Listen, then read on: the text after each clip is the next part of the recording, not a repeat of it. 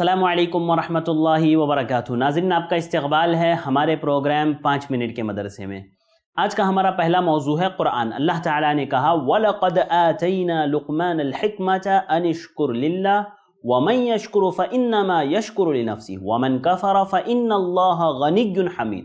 اور ہم نے یقیناً لقمان کو حکمت دی تھی کہ تو اللہ تعالیٰ کا شکر کر، ہر شکر کرنے والا اپنے ہی نفع کے لیے شکر کرتا ہے۔ جو بھی ناشکری کرے، وہ جان لے کہ اللہ تعالیٰ بے نیاز اور تعریفوں والا ہے۔ حضرت لقمان علیہ السلام اللہ کے نیک بندے تھے، جنہیں اللہ تعالیٰ نے حکمت یعنی عقل و فہم، دینی بصیرت میں ممتاز مقام عطا فرمایا تھا۔ ان سے کسی نے سوال کیا کہ آپ کو یہ فہم و فراست یعنی یہ حکمت آپ کو کہاں سے ملی؟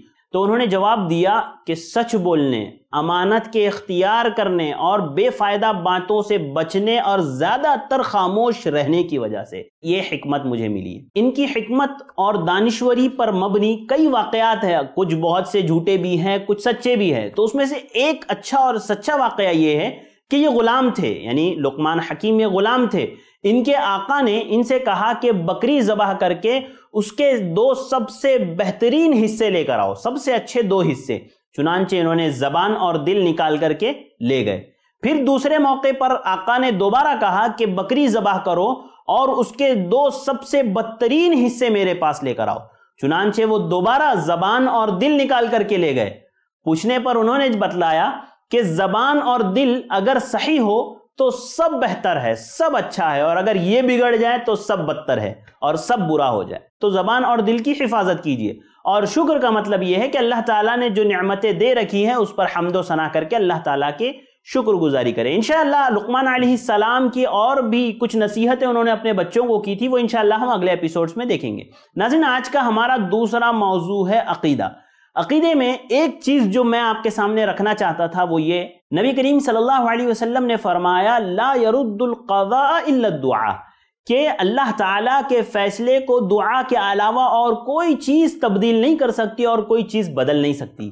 دیکھیے، تقدیر میں کچھ تقدیر اللہ تعالیٰ نے معلق رکھی ہوتی ہے یعنی ایک تقدیر تو وہ ہے جو کبھی بدلنے والی نہیں ہے۔ اور دوسری تقدیر جو اللہ رب العالمین نے رکھی ہے وہ معلق ہوتی ہے۔ علامہ عبید الرحمن مبارک پوری رحمہ اللہ کہتے ہیں کہ ایک تقدیر تو وہ ہوتی ہے جس میں کوئی رد و بدل نہیں ہوتا، کوئی پھیر نہیں ہوتا۔ لیکن دوسری جو تقدیر ہوتی ہے معلق جس کو کہتے ہیں، وہ بدلی جا سکتی ہے۔ مثال کے طور پر آپ بیمار تھے۔ اللہ رب العالمین نے آپ کی تقدیر میں یہ رکھا تھا کہ اگر آپ دعا مانگیں گے تو شفا ملے گی۔ لہذا آپ نے دعا مانگ لی، شفا مل گئی۔ اسی طرح کوئی مصیبت آپ کی تقدیر میں لکھی ہوئی تھی، وہ مصیبت آپ پر آنے والی تھی، لیکن ایسا ہوا کہ آپ نے دعا کر دی، اللہ تعالیٰ نے معلق رکھا تھا کہ اگر آپ دعا کریں گے تو یہ مصیبت، یہ پریشانی ہٹ جائے گی۔ لہذا آپ نے دعا کر لی اور وہ ہٹ گئی۔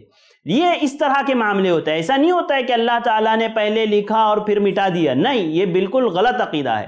ایک مسلمان کا، ایک مومن کا یہ عقیدہ ہوتا ہے کہ جو اللہ رب العالمین نے لکھ دیا ہے، وہی حرف آخر ہے۔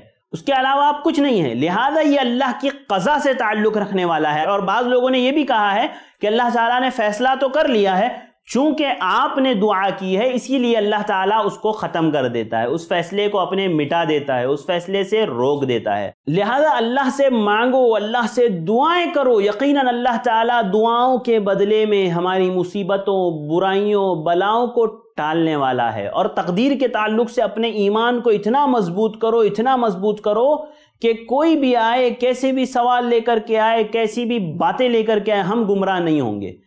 ہم گمراہ نہیں ہوں گے کیونکہ تقدیر کا معاملہ آج کل بہت چل رہا ہے، بہت لوگ اس معاملے میں گمراہ ہو رہے ہیں۔ لہذا مجھے اور آپ کو چاہیے کہ ہم اس باب کو اچھی طرح سے سمجھیں۔ آگے ایک اور ایپیسوڈ میں انشاءاللہ ہم تقدیر پر بات کریں گے کہ تقدیر میں جو ہوتا ہے، اس پر اللہ کا شکر ادا کرنا ہے۔ جو برائیاں ہوتی ہیں، جو غلطیاں ہوتی ہے اس کو بس اصلاح کر کے اس سے سبق حاصل کرنا ہے انشاءاللہ اور بھی کچھ باتیں ہوں گی جو ہمارے سامنے آئیں گی۔ آپ سے گزارش ہے کہ آپ مزید اس پر مطالعہ کیجیے اور آپ کو اگر کچھ ایسا لگتا ہے کہ اور کچھ باتیں آپ کو جاننی ہیں، تقدیر کے تعلق سے آپ کے سوالات ہیں، تو آپ ضرور ہمیں کمنٹ میں بتائیں۔ انشاءاللہ ہم آنے والے ایپیسوڈز میں اس کی وضاحت کریں گے، اس کے تعلق سے آپ کے سامنے باتیں رکھیں گے۔ آپ سے گزارش ہے کہ آپ ہمارے ویڈیو کو لائک کریں، کمنٹ کریں۔ شیئر کریں اور ہمارے چینل کو سبسکرائب کرنا ہرگز نہ بھولیں۔ آج کے لیے بس اتنا ہی۔ اللہ تعالیٰ سے دعا کرتے ہیں۔ اللہ تعالیٰ ہمیں تقدیر پر مضبوط ایمان رکھنے کی توفیق عطا فرمائے۔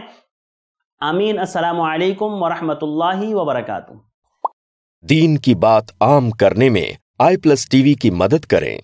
پے ٹی ایم یا گوگل پے کے لیے ہمارے نمبرز پر ٹرانسفر کریں۔ ایسے ہی اور ویڈیوز بنانے میں ہماری مدد کریں۔